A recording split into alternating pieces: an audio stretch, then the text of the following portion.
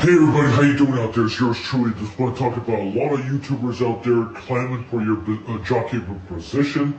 I just want to say that uh, there's a lot of YouTubers out there that are clamoring for your attention out there in a big way, in a very big way. So keep sharper out there for you folks out there. I will do that. I will make that a promise to you guys out there.